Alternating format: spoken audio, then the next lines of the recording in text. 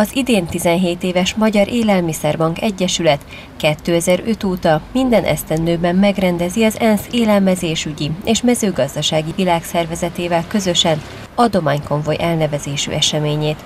Az élelmezési világnap kapcsán október 14-én 20 kamion 60 tonnányi élelmiszert szállított a 17. kerületi raktárba 100 millió forint értékben. Ebből az alkalomból minden évben összefogunk az ENSZ élelmezésügyi és mezőgazdasági világszervezetével, az FAO-val, akiknek az egyik regionális központjuk éppen Budapesten van, és velük közösen szoktuk megkeresni a legfontosabb kereskedelmi partnereket, akik a mindennapokban is sokat segítenek az élelmiszerbanknak, de erre az alkalomra extra adományokat szoktak felajánlani, és egy, egy meglehetősen impozáns és nagy méretű konvoj szokott út, útjára indulni. Most is 20 kamion, illetve teherautó szelte keresztül Budapest történelmi belvárosát is. Nagy György András hozzátette, a Rákosmenti telephelyre beérkezett adományok hamarosan szétosztásra kerülnek az arra szociálisan rászorulók között. A non-profit szervezet további célja, hogy partnereivel és a kereskedelmi láncokkal kiegészülve felhívják a lakosság figyelmét az élelmiszerpazarlásra, hiszen becslések szerint Magyarországon évente mintegy 1,8 millió tonna ételfelesleg keletkezik.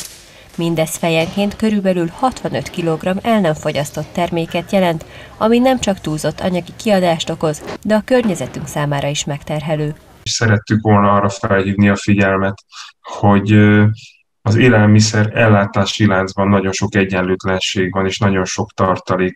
Kevesen tudnak róla, hogy a bolygónkon megtermelt élelmiszernek körülbelül az egyharmada az nem kerül elfogyasztásra, hanem veszteségként realizálódik.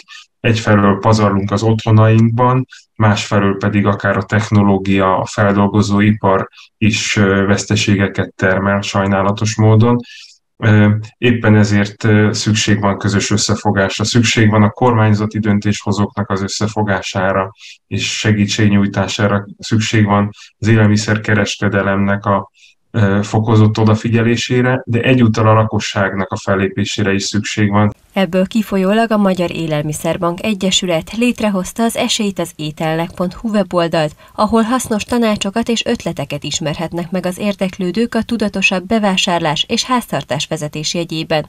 Legközelebb a segítő szándékú polgárok november 18-a és 20-a között járulhatnak hozzá a szervezet munkájához, ugyanis ebben a három napban kerül majd megrendezésre a tartós élelmiszerek gyűjtése az ország több száz pontján.